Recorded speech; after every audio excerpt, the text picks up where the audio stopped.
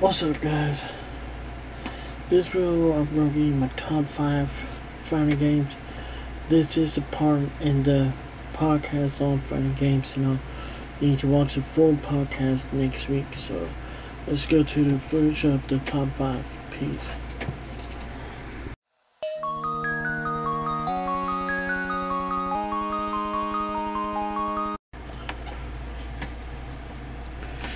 What's up, guys? I'm going to tell you my top five in this podcast of fighting games, and then we go straight into the more details on fighting games. You know, my top five are Tekken 7. I like Tekken 7 because it had a good story on, but after that, downhill. You know, that's the only thing I'm gonna say about Tekken 7. That's my number five.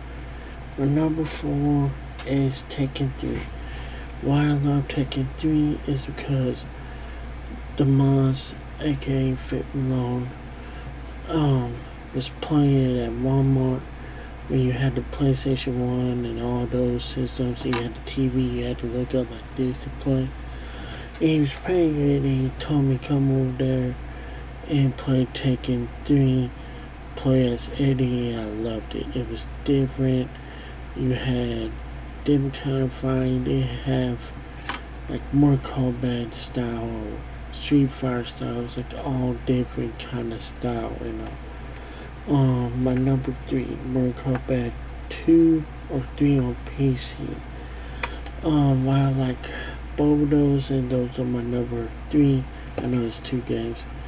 Um, Mortal Kombat 2, I was game, I was a kid when I first saw that and I was getting babysitting and her son wanted to go and hang out with friends so then we have time for us to leave and want him to stay there. She's like telling me to go tell him we leave and I'm just looking for him. And I heard get over here. And I was like what the heck? And I went to where I heard it because I thought I was getting called. And they were playing Mortal Kombat 2 and I was like, well, I never heard a voiceover before in video games. That's kind of cool. And then the PC version of Mortal Kombat 3, it was just different. You had songs that you could go through and all, and just it was just different. The graphics were faster and all on the PC. Then Street Fighter 2 for my number two game. Street Fighter 2 Turbo PC. Same thing, it was just different. I saw the Street Fighter games on the Super Nintendo Sega. It did not look like PC version. PC version just more instant.